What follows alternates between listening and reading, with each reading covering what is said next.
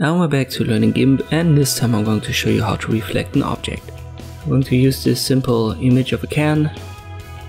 First step is I'll copy it because I like to have the origin as a backup. We're going to work on the copy. Backup is now invisible. Let us now use the path tool right here. I'm in the design mode, so that should be by default. And now I go over it with the left click first, don't worry too much about the curves in the first step. I'll move around an image holding the spacebar. And I create this simple outline.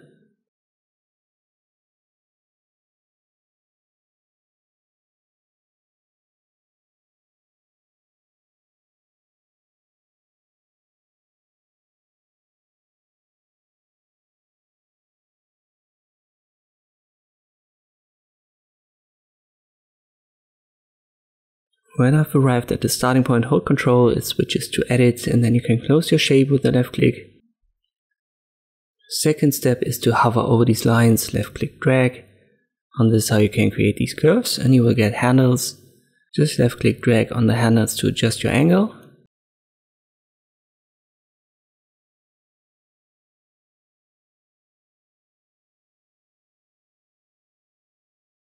Whenever you misclick, you can simply press Ctrl Z.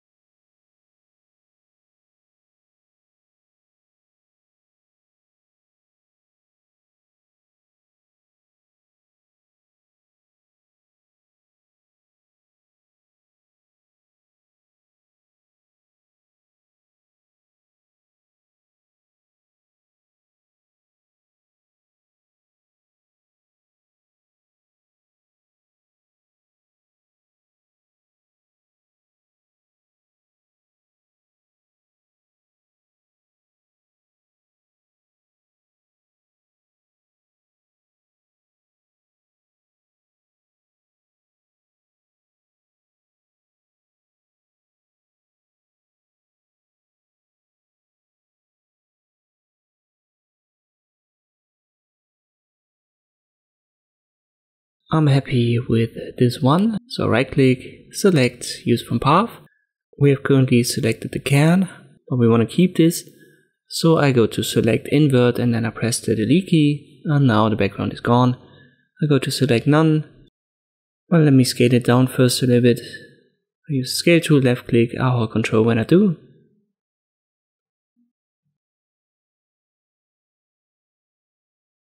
But maybe it's a little bit too small now. So let me scale it up again a little bit. Once more, I hold control, confirm via scale.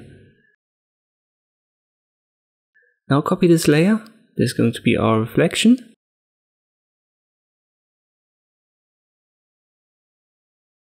I need the move tool, not scale, so let me press Ctrl Z. Hold control and I drag it downwards so that it's in line. So you should have something like this. Then use the flip tool right here. It's set to layer and vertical. And now you can just left click on the can, so our reflection layer, and it's going to get flipped vertically. You have to rearrange that a little bit.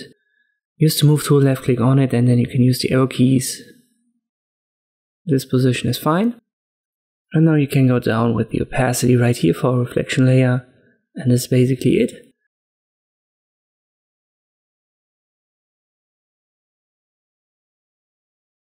A couple of more tips you can use, for example, a perspective transform.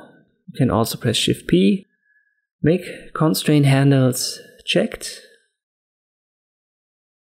and then adjust the angle.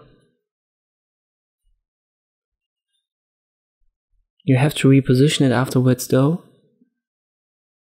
So I zoom in once again, by the way I hold control and use the mouse wheel to zoom.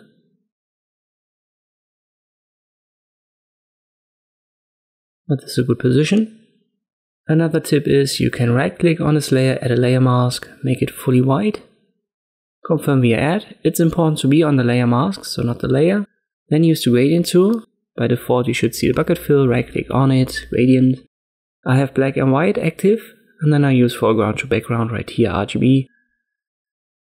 And then, once again, I'm on the layer mask. Just left click, drag upwards holding control. The bottom is black, so it makes it fade out a little bit in the end, and the top is white, which makes it visible.